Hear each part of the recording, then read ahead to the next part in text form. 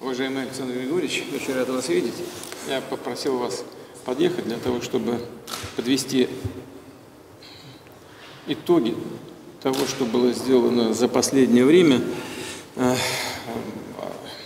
формирование программы развития союзного государства ну, на экспертном уровне, на правительственном, э, на протяжении многих месяцев или, можно сказать, даже многих лет э, напряженно работали. Хотел бы сразу отметить, что то, о чем мы, надеюсь, договоримся сегодня, не связано с какой-то текущей э, политической конъюнктуре, э, конъюнктурой в наших странах, либо с политическим календарем вот в преддверии наших э, парламентских выборов в России.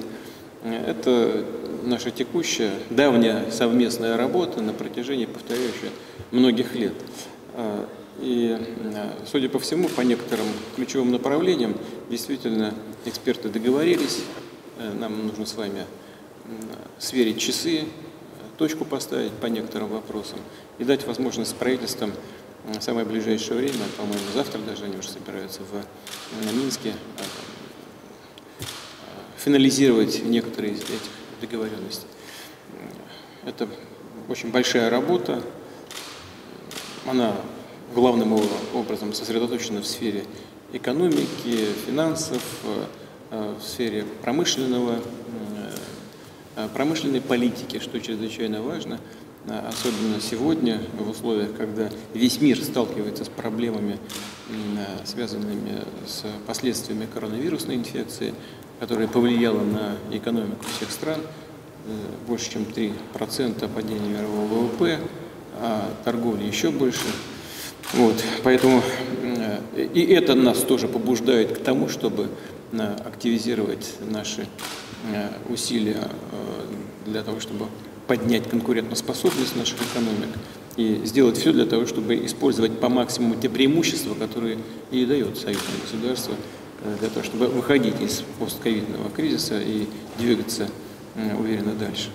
Я очень рад вас видеть и уверен, мы сегодня как следует поработаем. Спасибо, Владимир. Я думаю, мы хорошо поработаем. Но, наверное, уже у нас работы осталось меньше, нежели прежние наши встречи. Они длились очень долго, и по 5, по 8 часов, потому что тогда проходилось нам, ну, как тут можно сказать, как бульдозеры проходить, чтобы расчистить дорогу для правительства и экспертов. Они то поработали, но э, все время натыкались на проблемы, которые не могли разрешить или принять решение, не могли, нам приходилось с вами работать.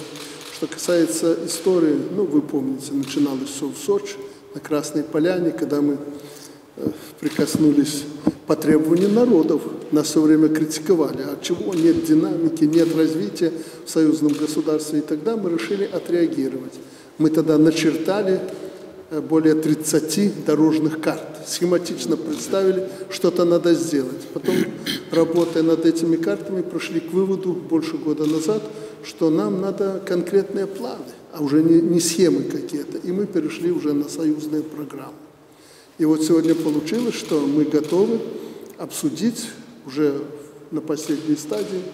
28 программ, это очень много, это основные крупные темы и направления нашего сотрудничества, правильно вы сказали, чтобы дать возможность правительствам завтра ну, еще раз на экспертном и правительственном уровне, рассмотрев их, э, если они принимают, то на ВГС, на Высшем Госсовете, как мы договаривались с вами, когда мы определим время, может быть, в конце октября, пожалуйста примем окончательно эти программы, это будет прорыв. Прорыв во многих сферах. Это не тайна, мы опубликуем эти программы, покажем, э, по каким направлениям мы работали, но вы правы. Более трех лет назад мы начали эту с вами работу, поставили задачу перед правительством, и я надеюсь, успешно мы решили эту задачу.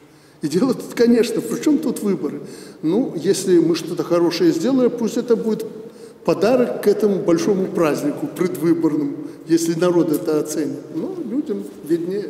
Поэтому Что тут? Мы двигаемся, как и все цивилизованные страны, только вместе, только в союзе, родные государства, близкие народы, народы практически единый народ от одного корня, русские, и белорусы. Что тут? Мы делаем свое дело, ну, а они уже пускай нас оценивают. Хорошо.